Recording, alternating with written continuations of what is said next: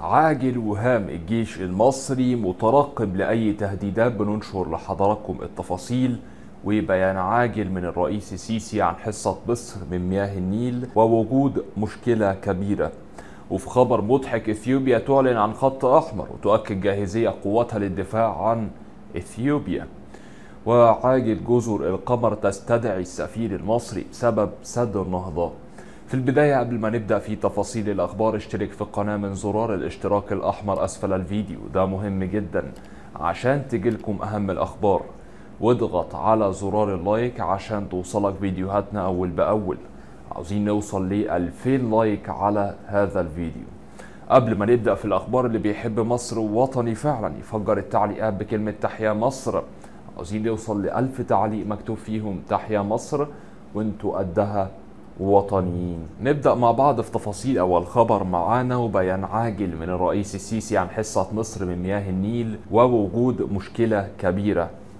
رئيس عبد الفتاح السيسي أكد أن حصة مصر من مياه النيل لن تقل. أشار لوجود مشكلة رغم حفظ حصة مصر من مياه النيل. أوضح الرئيس السيسي أنه حتى مع استمرار حصة مصر من مياه النيل لكن هناك مشكلة بسبب الزيادة السكانية وتوفير المياه للأجيال المتزايدة. رئيس عبد الفتاح السيسي أضاف في تصريحات لرؤساء تحرير الصحف المصرية وعدد من الإعلاميين ومحرري رئاسة الجمهورية خلال جولته بالمدينة الصناعية الغذائية سيلو فودز بمدينة السادات بمحافظة المنوفية. إحنا بنعمل كل الإجراءات دي علشان نوفر مياهنا.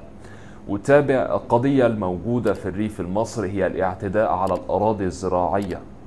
أضاف حافظوا على ما تبقى من الأراضي الزراعية. المصدر معانا كان من اليوم السابع وهذا كان تصريح الرئيس السيسي عن حصة مصر من مياه النيل والمشكلة الكبيرة وهي تزايد السكان. ننتقل مع بعض الخبر آخر وعاجل وهام الجيش المصري مترقب لأي تهديد. وقال المستشار بأكاديمية ناصر العسكرية والخبير الاستراتيجي ناجي شهود إن الجيش المصري حذر ومترقب لأي تهديدات يمكن أن تتعرض لها عبر حدودها المختلفة. وذكر ناجي خلال تصريحات تلفزيونية أن الغواصة إس 44 ألمانية الصنع التي وصلت لقاعدة الإسكندرية البحرية لتنضم للقوات البحرية المصرية دليل على ذلك. أشار إلى أن تنوع التسليح والتدريب المشترك يرتبط بتنويع التهديدات العديدة التي تتعرض لها الدولة المصرية من جهات متعددة خلال هذا التوقيت. ذكر أن القوات المسلحة المصرية يجب أن تكون مستعدة بكافة المعدات العسكرية في حال استشعار وجود خطر يهدد الدولة المصرية. المصدر معنا كان من التلفزيون المصري أترك لحضراتكم التعليق على هذا الخبر الهام. ننتقل مع بعض الخبر آخر والحقيقة أنه خبر مضحك. وإثيوبيا بتعلن عن خط أحمر وتؤكد جاهزية قواتها للدفاع عن إثيوبيا. متحدث باسم الخارجية الإثيوبية دينا مفتي أعلن أن قوات الدفاع الإثيوبية جاهزة للحفاظ على البلاد من أي تهديد. أوضح مفتي في تصريحات تلفزيونية وصحفية أن عدم احترام سيادة إثيوبيا والمصالح الوطنية هو خطا أحمر. وقال إن في العديد من الرغبات المباشرة وغير المباشرة ضد المصالح القومية الإثيوبية. المتحدث الرسمي كشف أن المغتربين الإثيوبيين في واشنطن قد تبرعوا ب ألف دولار خلال هذا الأسبوع. أكدوا دعمهم لقوات الدفاع الوطني من خلال مظاهرات نظمت في مدن مختلفة. وفقا للمتحدث فإن المجتمع الإثيوبي الذي يعيش في مونيش قد تبرع بحوالي 15 ألف يورو لدعم المشاريع الحالية في إثيوبيا. مصدر معنا كان من وكالة الأنباء الإثيوبية وبترك لحضراتكم التعليق على هذا الخبر. ننتقل مع بعض الخبر آخر وعاجل جزر القمر تستدعي السفير المصري بسبب سد النهضة.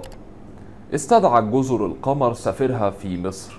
عطاء أفندي للتشاور على خلفية مقابلة صحفية صرح فيها بدعم بلاده موقفي مصر والسودان في ملف سد النهضة. وفقا لصحيفة الوطن القمرية المحلية استدعت دولة جزر القمر سفيرها لدى مصر عطاء أفندي للتشاور وذلك على خلفية التصريحات التي أدلى بها في مقابلة مع صحيفة أخبار اليوم المصرية في الثامن من يوليو قال فيها بأن بلاده تدعم القاهرة والخرطوم في ملف سد النهضة.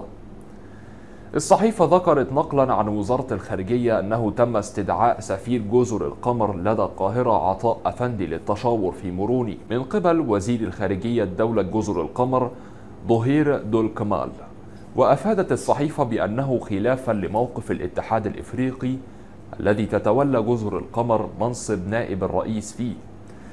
أعلن الدبلوماسي في مقابلة أن مروني أيدت القاهرة والخرطوم في ملف سد النهضة. الصحيفة أشارت أن السفير عطاء أفندي أول دبلوماسي من جزر القمر يتحمل وطأة الأزمة. وضح أنه يتهم باتخاذ موقف مخالف لموقف بلاده في القضية الحساسة للغاية الخاصة بسد النهضة الإثيوبي.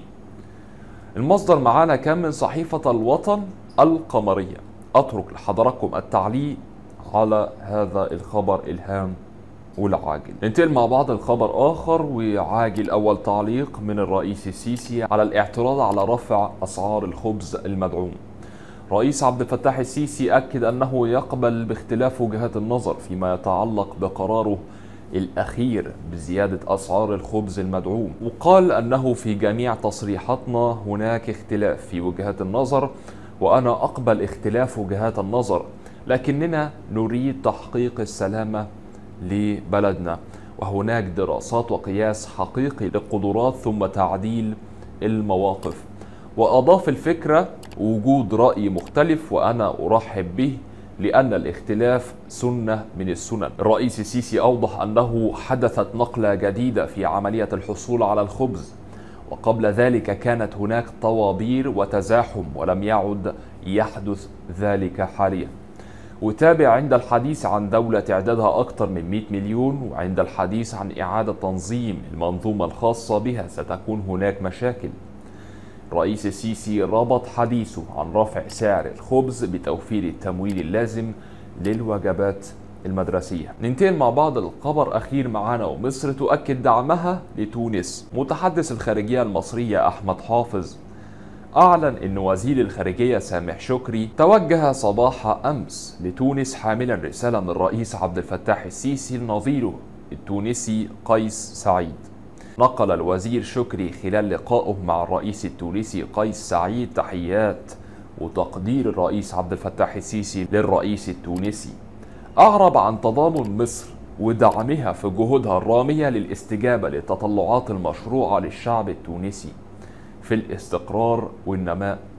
على نحو يصوم مؤسسات الدولة الوطنية ويحفظ مقدرات شعبها وإرادته الحرة. الوزير شكري جدد التأكيد على ثقة مصر في قدرة القيادة التونسية على تجاوز الظروف الدقيقة الحالية وفيما تتخذه من إجراءات تمكن مؤسسات الدولة من الاستجابة الناجزة لمختلف التحديات الاقتصادية والسياسية والصحية. شكري قال في تصريح إعلامي بعد لقائه الرئيس سعيد.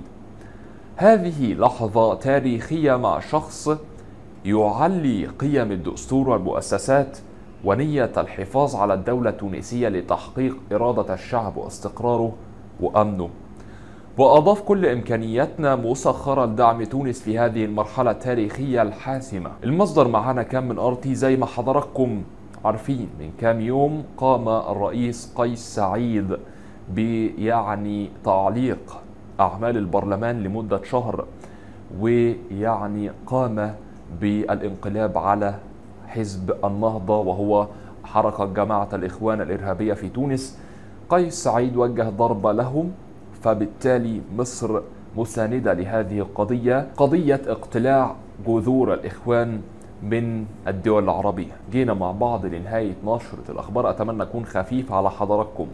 وما تقلتش عليكم إن شاء الله. أشوفكم في فيديو جديد وقريب. والسلام عليكم ورحمة الله تعالى وبركاته.